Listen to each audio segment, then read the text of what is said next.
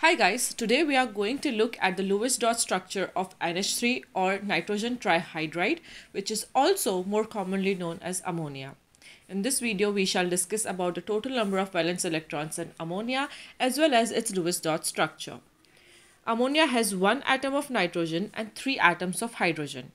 To know the Lewis structure of ammonia, we'll first calculate the total number of valence electrons in NH3. Nitrogen is a group 15 element and has 5 valence electrons, whereas hydrogen has 1 valence electron. In total, there are 8 valence electrons for ammonia. So now for Lewis structure, we'll place nitrogen atom in the center and all the other hydrogen atoms will be arranged around nitrogen atom like this. Once you have done this, start placing all the valence electrons of individual atoms. Here, hydrogen atom needs two electrons to attain a stable structure. Hence, all hydrogen atoms will share one electron each of nitrogen to complete their octets.